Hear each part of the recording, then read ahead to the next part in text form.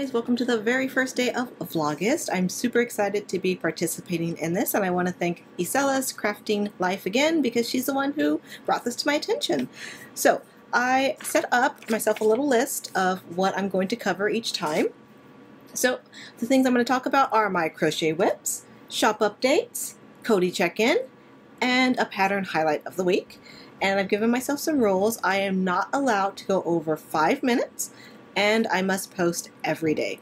I kind of want to put in a time and be like, I need to post by 5 p.m. or something, but uh, that'll be an unspoken rule. So let's jump in.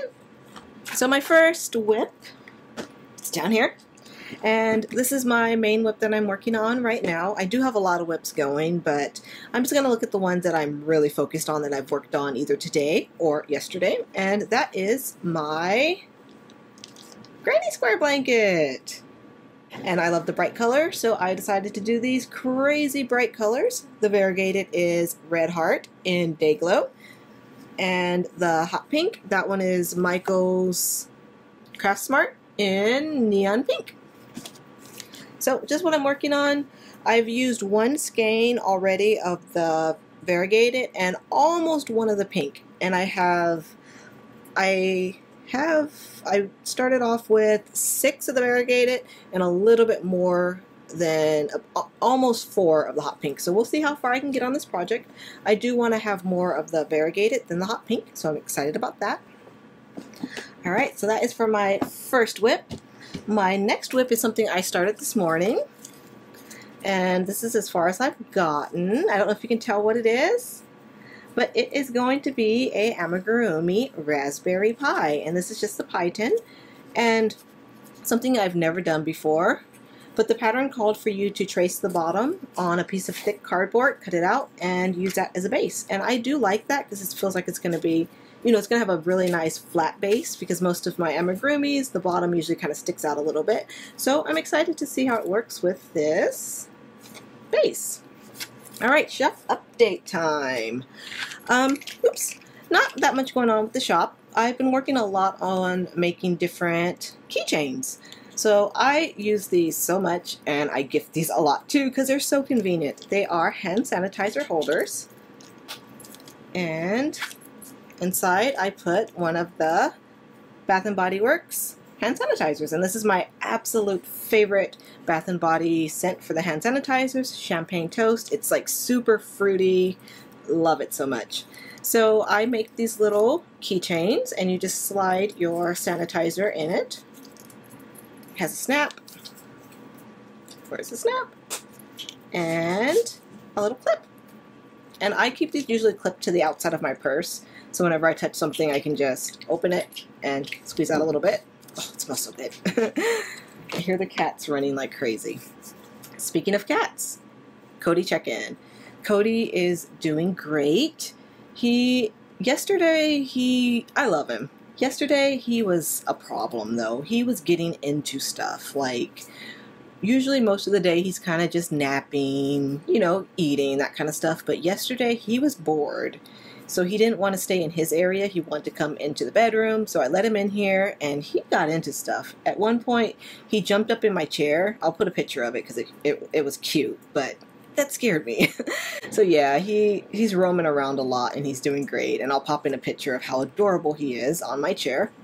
One thing I have noticed since this has happened, his coloring has actually changed. Like his ears and his face, they were super, super dark, but they've like become speckled with like gray. So I'm like, oh, was he that stressed that it made him gray some?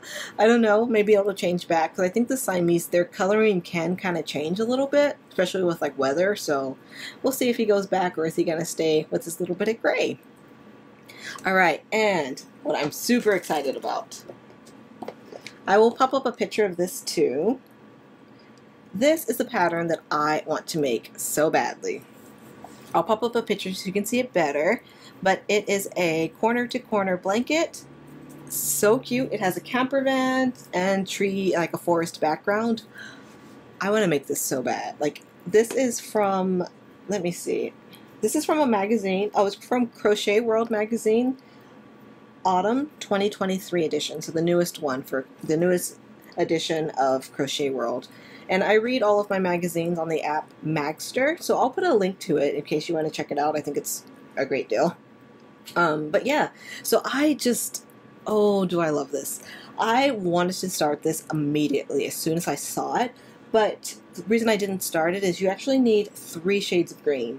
So the grass is like this neon, super bright green. There's one dark tree, one medium tree, and then one kind of really like kind of foresty tree.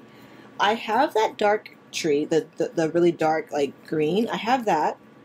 I have some of the lighter one, but I don't have enough of a really bright green or I, I might have enough of this kind of grayish foresty green, but I'm not sure. So I'm actually going to go through my stash and see if I can get enough of these colors because this is cute and I have to make this. I this was early when I was really into making blankets. I did make quite a few of these corner to corners.